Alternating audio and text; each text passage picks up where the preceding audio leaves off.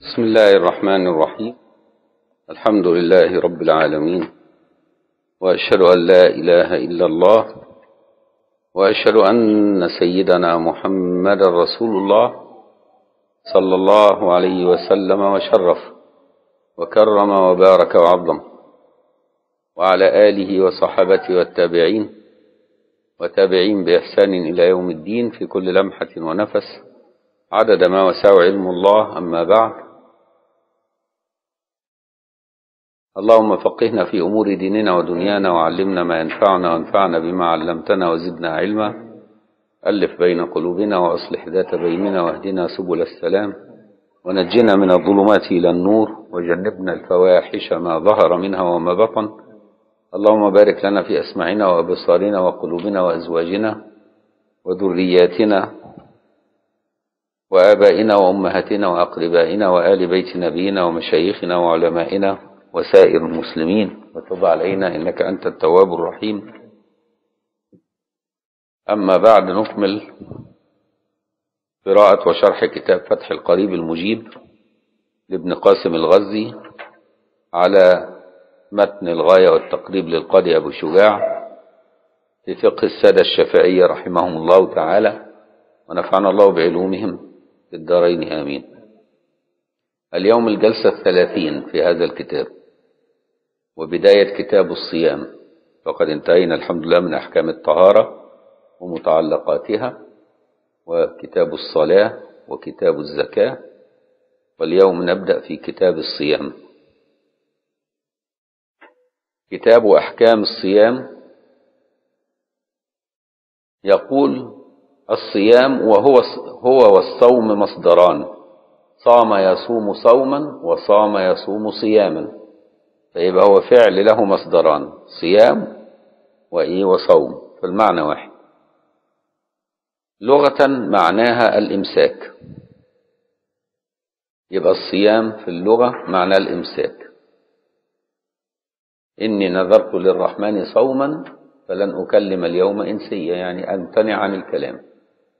صوما هنا في سورة مريم تقصد به الامتناع عن الكلام وكانت في الأمم السابقة يتعبد بالصيام عن الكلام. فالصوم عبادة قديمة تعبد الله بها الأمم السابقة كلها. ربنا في القرآن بيقول سبحانه وتعالى كتب عليكم الصيام كما كتب على الذين من قبلكم فهو عبادة قديمة. لكن كيفيتها تختلف من شريعة لشريعة.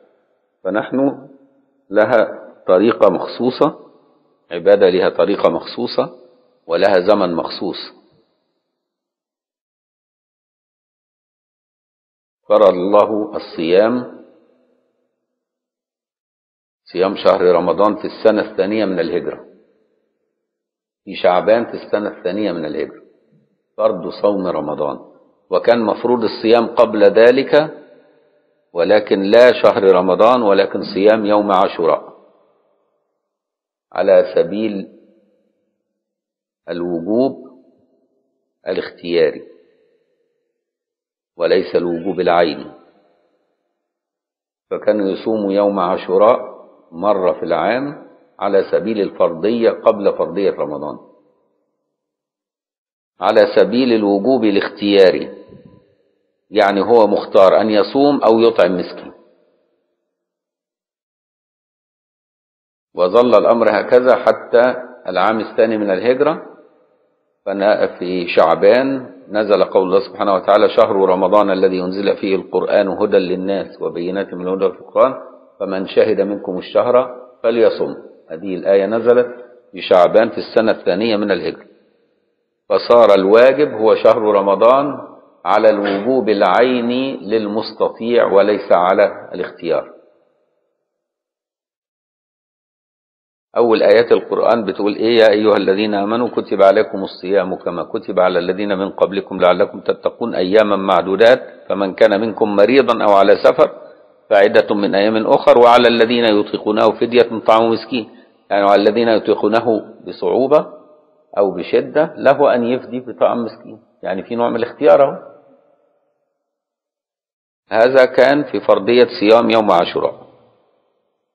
بعدها مباشرة شهر رمضان الذي أنزل فيه القرآن هدى للناس وبينات من الهدى والفرقان فمن شهد منكم الشهر فليصمه. ومن كان مريضا أو على سفر فعدة من أيام أخر ما قالش بقى وعلى الذين يتقون فدية ما قالش خلاص شال, شال الاختيار. كويس؟ يبقى إيه؟ رفع الاختيار.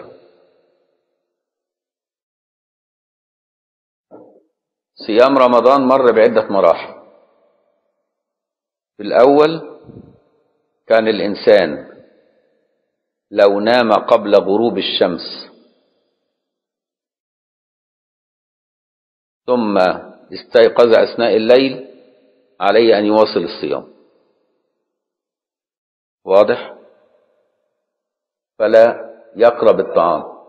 يعني لو غرب عليه الشمس الصائم وهو نائم ثم استيقظ لا يأكل. كويس؟ كان في الأول كده. فشق ذلك على الناس. فربنا سبحانه وتعالى أباح لهم الأكل في الليل. وكان أيضا لا يجوز له. إذا نام قبل إذا نام بعدما أفطر لا يقرب زوجته. حتى ولو لم يطلع الفجر. فرخص لهم بعد ذلك وصار سبحانه وتعالى يسر للناس وقال بعد آية ولتكملوا العدة ولتكبروا الله على ما هداكم لعلكم أحل لكم ليلة الصيام الرفث إلى نساء يبقى أحل. الأول ما كانش حلال. وليلة الصيام الرفث إلى نساء يبقى عرفنا إحنا الصيام مر بعدة مراحل. التشريع واستقر على ما نحن عليه. النبي صلى الله عليه وسلم صام تسع رمضانات. تسع رمضانات صلى الله عليه وسلم. إنه مات في العام العاشر صلى الله عليه وآله وسلم. وهي فرض شهر رمضان في العام الثاني من الهجرة. يبقى النبي صام تسع رمضانات. واحد منهم 30 يوم. وباقي الرمضانات كلها 29 يوم. يعني واحد من التسع رمضانات بتوع النبي اللي صامهم كان 30 يوم. باقي رمضانات اللي صامها النبي كلها كانت 29 يوم.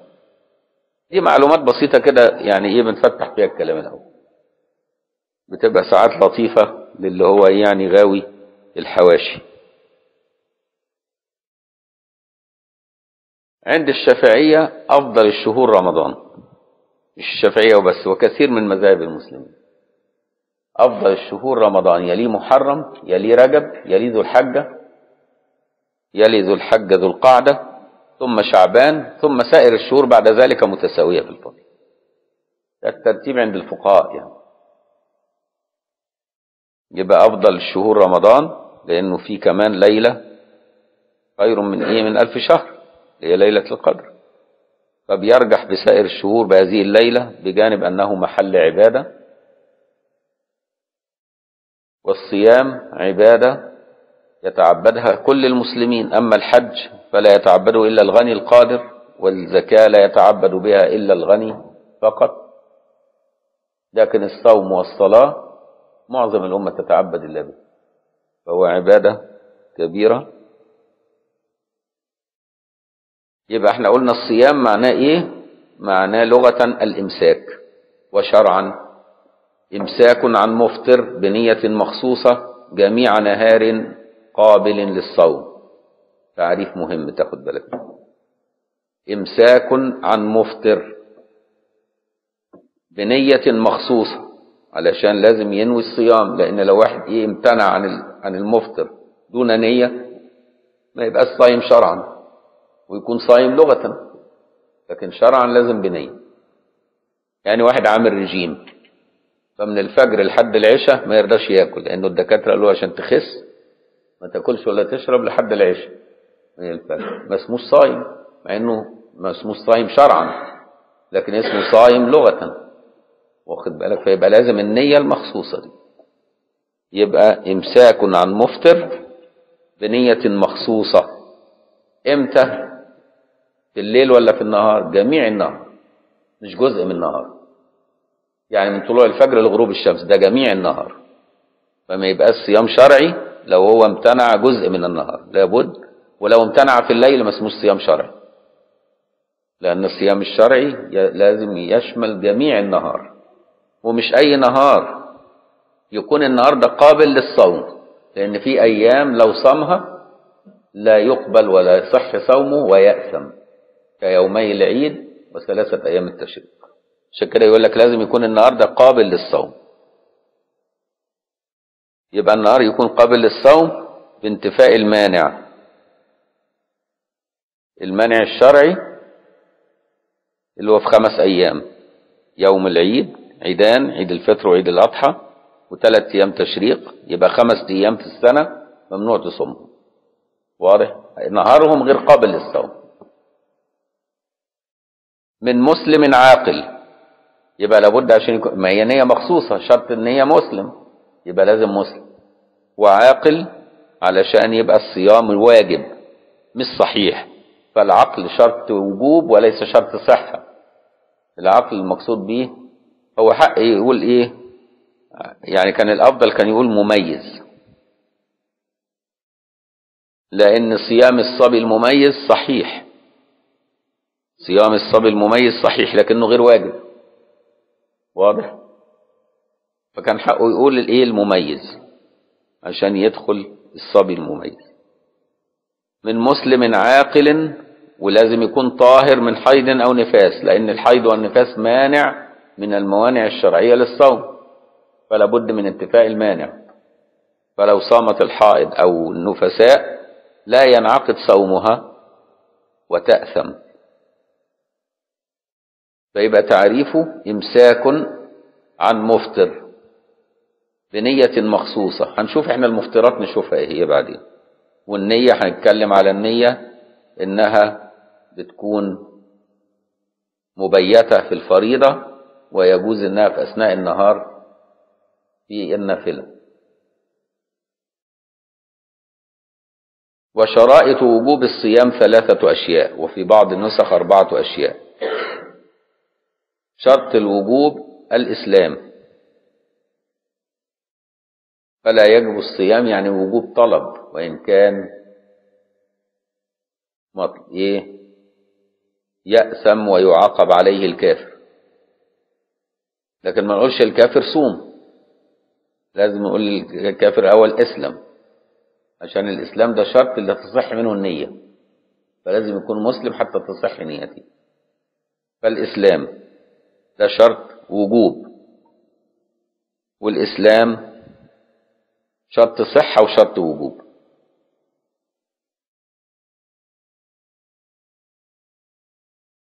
والبلوغ. البلوغ ده شرط وجوب لكن مش شرط صحة لأنه يصح الصوم من المسلم من الصبي المميز. يبقى البلوغ ده شرط وجوب وليس شرط صحة. لكونه يصح من الصبي المميز. والعقل. العقل شرط وجوب وشرط صحة إذا قلنا إن العقل لا البلوغ ده البلوغ إحنا قلنا إنه شرط وجوب لكن العقل شرط صحة ووجوب. البلوغ شرط وجوب بس كويس؟ وصحة أيضا. لكن الصبي يصح منه الصوم ولا يجب ده بالنسبة للبلوغ. إنما العقل بقى المقصود بالتمييز عشان نخرج المجنون والمغمى عليه والسكران. واضح؟ يبقى المجنون إذا جن الصائم ولو لحظة بطل صوم في أثناء النهار. يعني جاله دور جنون كده في أثناء النهار ساعة ولا نص ساعة. وأفاق في أثناء نهار صيامه بطل صوم كويس؟ آه زي الصرع. الصرع نعتبره زي الجنون. كويس؟ يبقى لو قلنا لحظة أثناء النهار بطل هذا اليوم. وعليه ولا يجب عليه القضاء إن لم يتعدى بجنونه. لا يجب عليه القضاء إن لم يتعدى بجنونه بخلاف المغمى عليه. يبقى المجنون لأنه رفع عنه التكليف. فيبقى لا يطلب منه القضاء. واضح؟ لرفع التكليف عنه.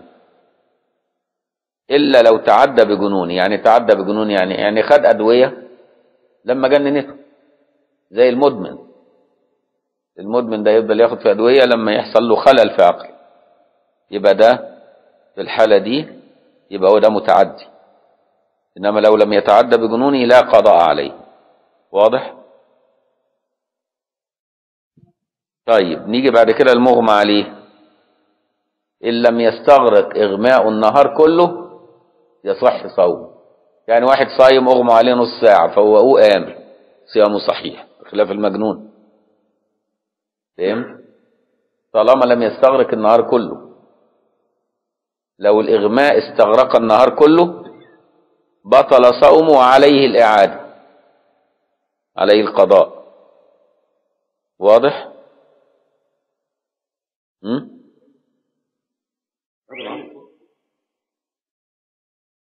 إنه كان كأنه يعني غاب عقله.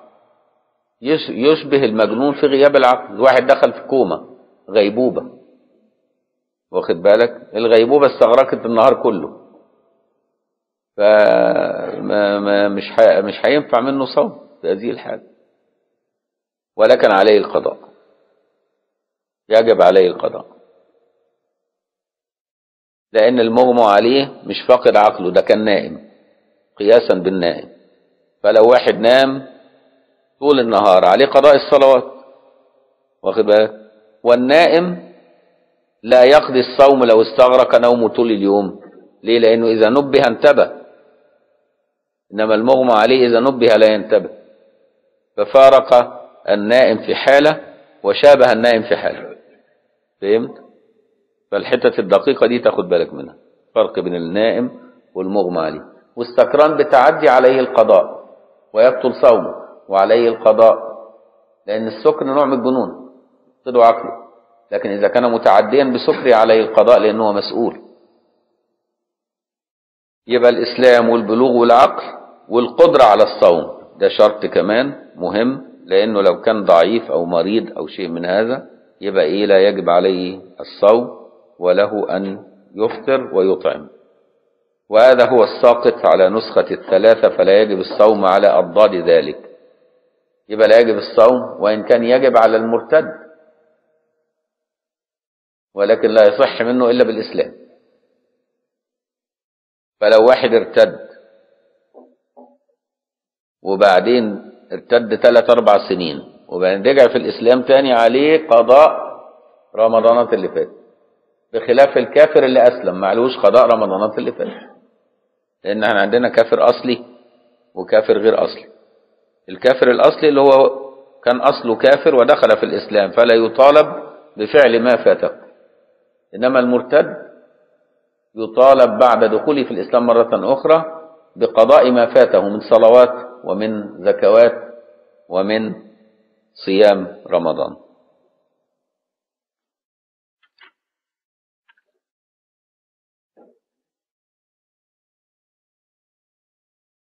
هو زود الرابع لأن في بعض النسخ في بعض النسخ زودوا الرابعة دي. اللي هي القدرة على آه والقدرة على الصوم.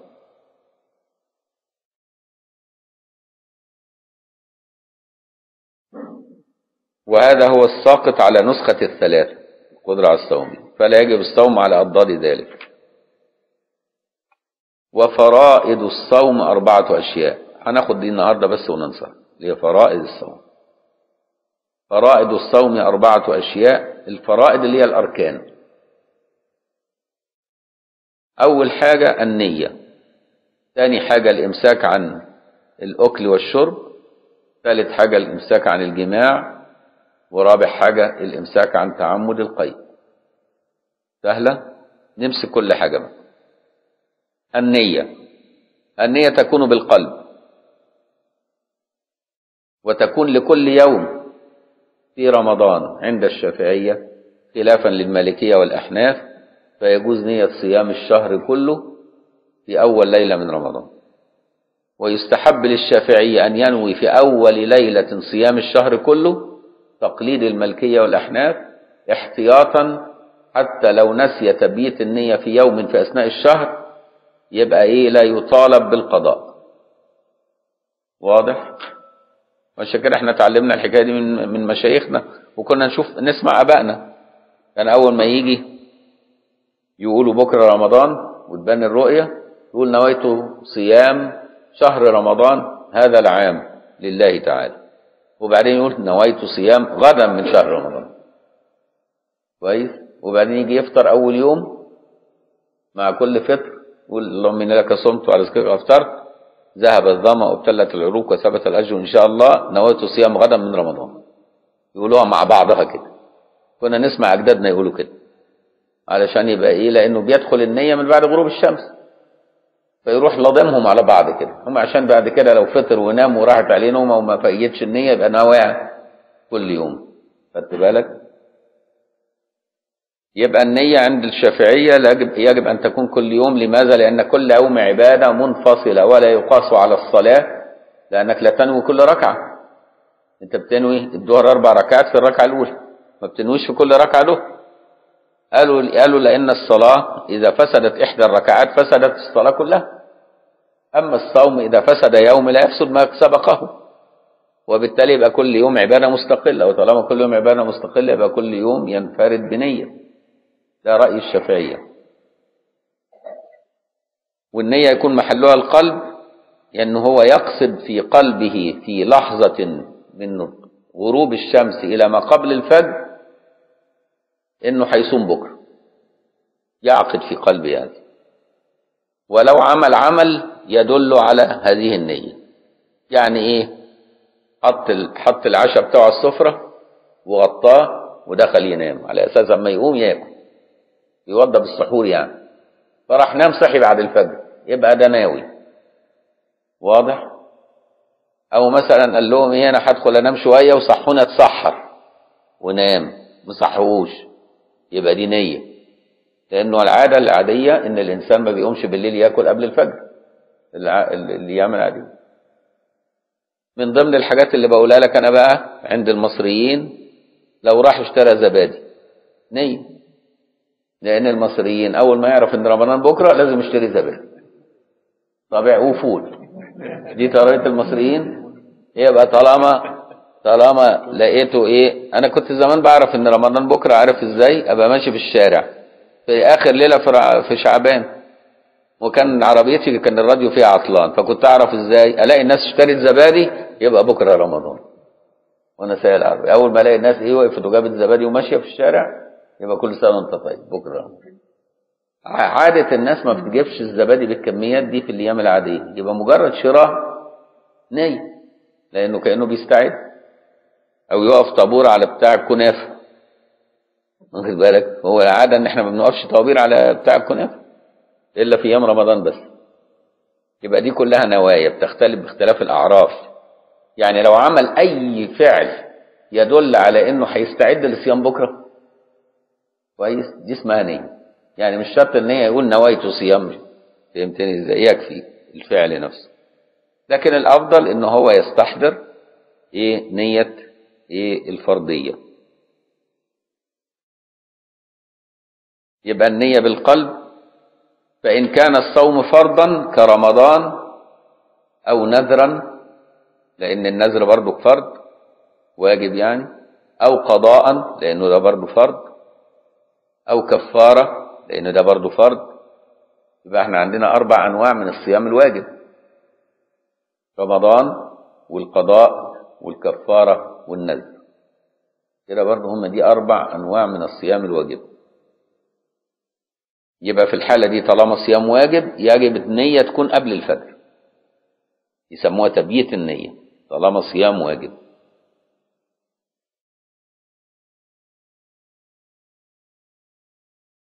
فلا بد من إيقاع النية ليلا. ويجب التعيين في صوم الفرد كرمضان. أيوة. يعني يقول نويت صيام غدا من رمضان. مش شرط إيه يقول الفردية يكفي يقول من رمضان. لكن مش شرط يعين في الكفارة نوع الكفارة. يعني ممكن يقول نويت صيام غدا كفارة. ممكن كفارة يمين كفارة زهار كفارة قتل خطأ. مش مشكلة عندنا. شرط يعين نوع الكفارة. لكن لما يبقى رمضان يعين إن دي رمضان. واضح؟ ويجب التعيين في صوم الفرد كرمضان وأكمل نية صومه أن يقول الشخص نويت صوم غد من عن أداء فرض رمضان هذه السنة لله تعالى. تحفظ دي لأن دي أكمل نية عند الشافعية بحيث إيه؟ تبقى صحيحة على كل وجوه المذهب. نويت صيام غدا من شهر رمضان هذا العام. والثاني الإمساك عن الأكل والشرب. تاني حاجة الإمساك عن إيه؟ عن الأكل مش الأكل الأكل. لأن الأكل هو المضغ. وأنت مش ممنوع إنك تمضغ. أقعد إبلع في ريقك وامضغ ريقك ما تفطرش. لأن الأكل هي حركة الفكين اللي هي المضغ. إنما الأكل اللي هو الأكلة نفسها اللي هو المأكول. يبقى الأكل هو المأكول. والمشروب. والثاني الإمساك عن الأكل والشرب وإن قل المأكول والمشروب عند التعمد. فإن كان ناسيا وأكل ولو كثيرا صح صوم لأن رفع القلم عن الناس سواء في الفريضة أو في النافلة. طالما أكل ناسي صيامه صحيح يكمل واضح؟ ده مذهب الشافعي. طب افرض أكل جاهلا إن كان جاهلا معذورا ما يضرش. إيه الجاهل المعذور؟ هو الذي يكون حديث عهد بالإسلام أو نشأ في مكان بعيد عن بلاد المسلمين. ففاهم إن الصيام نية لكن يأكل ويشرب. متصور كده.